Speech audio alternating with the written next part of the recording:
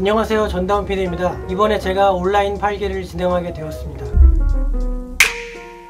이제 막 시작하시는 분들도 좋고요. 조금 더 체계적으로 배우고 싶으신 분들이 들으면 좋을 것 같습니다. 기본적인 시퀀싱이랑 프로그램만 잘 다룰 줄 알면 충분히 따라오실 수 있고요. K-팝 작곡가가 되시고 싶은 분들께 음악적으로 꼭 도움을 드리도록 하겠습니다 무엇보다 중간에 아고자 한 분도 없이 잘 따라오셨으면 좋겠습니다. 개인적으로 저는 작곡가가 성장해가는 6단계가 있다고 생각하는데요. 처음 시작하는 1단계, 습작 수준의 작품부터 히트곡을 쓸 수 있는 6단계까지 있다고 봐요. 열심히만 한다면 기술적인 그런 배움과 공식화된 기법으로 5단계까지 갈 수 있다고 저는 생각합니다.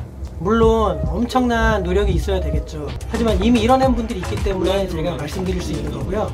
아무튼 이번 온라인 8기 여러분들의 목표는 5단계까지 가는 것입니다. 저희 클래스 기간이 긴 만큼 가능한 한 모든 영역에서 다룰 거고요. 최종 목표는 혼자서도 곡의 컨셉과 아이디어, 목표 등등 그런 것들을 기획할 수 있는 능력을 갖추는 거고요. 전체적으로 intro부터 outro까지, 보컬 멜로디까지 모든 것을 다 해낼 수 있도록 하는 것을 목표로 하고 있습니다. 조금 더 말씀을 드리자면 중간중간에 팝이나 가요를 좀 카피를 할 예정인데요. 미술이 됐건 음악이 됐건 창작에 있어서 가장 중요한 공부는 저는 카피 작법이라고 생각을 합니다.